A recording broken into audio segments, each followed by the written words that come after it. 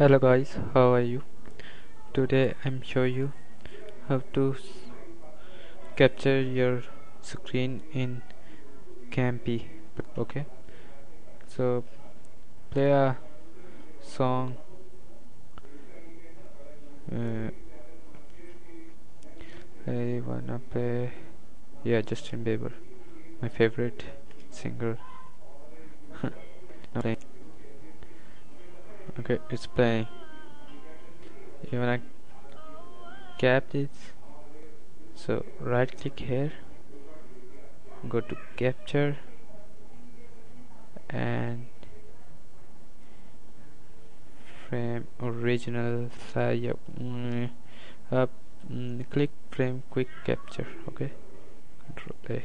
Yeah your screen is capture okay now close this go to documents my pictures. Yeah. Okay guys thank you.